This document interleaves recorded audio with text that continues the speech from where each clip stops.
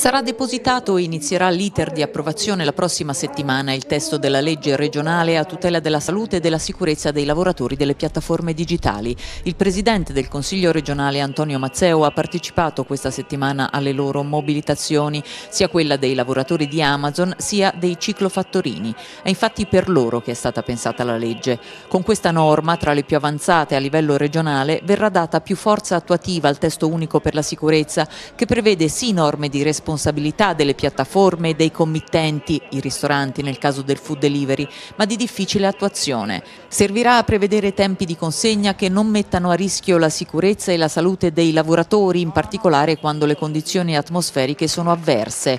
Imporrà un obbligo formativo a carico delle aziende affinché i lavoratori siano a conoscenza del codice della strada e delle regole sulla sicurezza sui luoghi di lavoro, a cominciare dall'uso dei dispositivi di sicurezza che devono essere forniti in maniera gratuita e continua ai lavoratori. La legge, soprattutto, rafforzerà il sistema di monitoraggio ed eventuali sanzioni da parte delle ASL, che dovranno anche correggere ed eliminare pratiche e comportamenti pericolosi. E noi come Regione faremo questo e in più manderemo una PDL, una proposta di legge al Governo, al Parlamento, in cui diremo di modulare nuovi contratti di lavoro, di definire maternità, ferie, tutto quello che oggi queste ragazze e questi ragazzi non hanno. È una legge di dignità.